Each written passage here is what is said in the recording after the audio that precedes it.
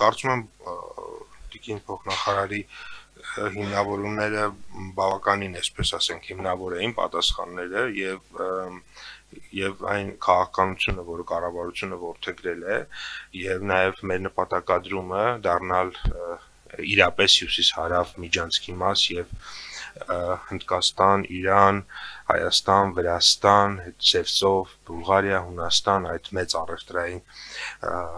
ուղու մաս դառնալու համար մեզ պետք են բնականաբար անհրաժեշտ ենթակառուցվածքներ, որովհետև հակառակ դեպքում ուղակի ամենապարզ տրամաբանությամբ ոչ մի բեռնափոխադրող, ոչ մի վարորդ չի գնա այն ճանապարհներով, որտեղ վթարների հավանականությունը մեծ է, որտեղ ծախսերը մեծ են, որտեղ ժամանակը երկար է տևում, հա, բնականաբար այս ամեն ինչի մաս դառնալու համար մեզ պետք են համապատասխան ներդրումներ եւ այս առումով կարծում եմ, որ ինձ հետաքրքրում էր ավելի շատ լրացուցիչ է հիմնավորումները, թե ինչու պետք է ավելանա եւ եթե մենք երկու կողմից այսինքն մի կողմից բիզնեսի կողմից առաջարկներ ունենք, որոնք նույնական են մյուս կողմից մասնագիտացված կառույցների կողմից միջազգային եւ կարծում եմ, որ դրանք արդեն որոշակիորեն մեզ հիմք են տալիս այդ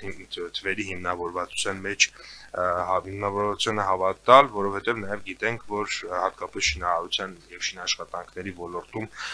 նաև գնաճ է գրանցվել եւ դա նույնպես ազդել եւ շինանյութի գների գնաճ է տեղի ունեցել եւ բնականաբար դա եւս իր ազդեցություն ունեցել է